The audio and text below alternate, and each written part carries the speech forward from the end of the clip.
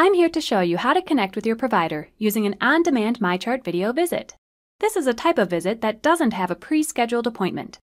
Keep in mind that there might be differences between healthcare providers, including whether on-demand video visits are offered.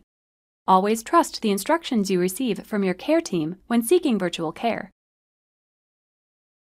I'll show you the workflow through the MyChart website, but the steps on the mobile app will be similar.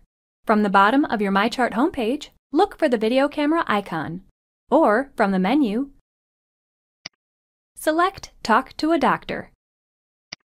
Confirm your location, and choose the reason for the video visit.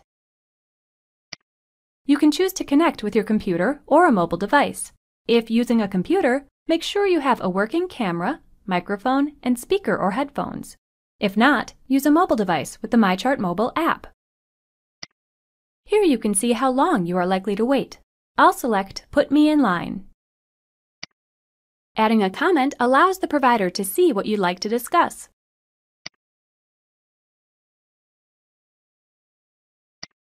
While you wait for an available provider, you may have the option to complete e-check-in. Depending on your visit type, the appointment may require e-check-in. You can pay any outstanding balances, like a copay or previous balance, I'll pay the copay.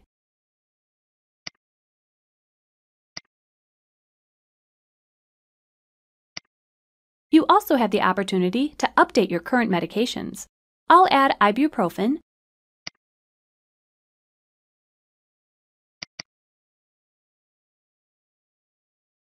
and select a pharmacy where I will get my prescriptions filled.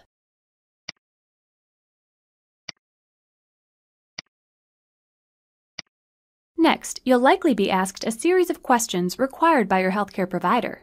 I won't demonstrate answering all of the questions, I'll just show you the first few.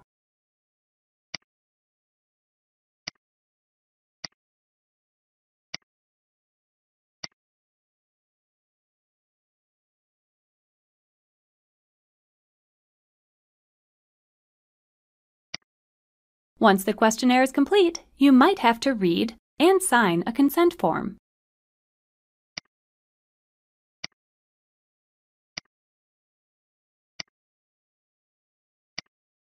Now it's time to submit.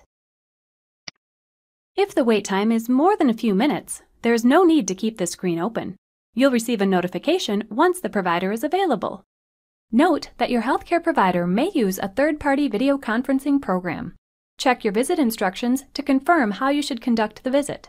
When notified, open the appointment and click Begin Video Visit.